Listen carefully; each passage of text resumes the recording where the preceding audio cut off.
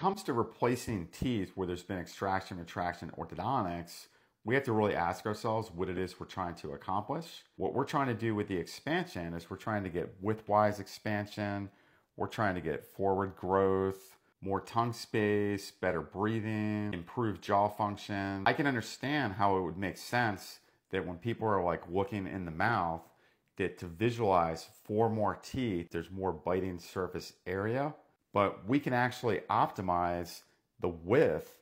Certainly getting forward growth doesn't have anything to do with putting those teeth back in the mouth for where it is.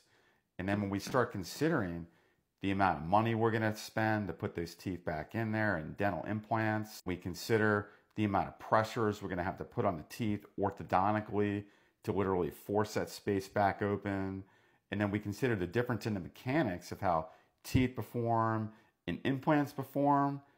I feel like the cons far outweigh the pros. And in fact, in most cases, I can get a better result without putting those teeth back in.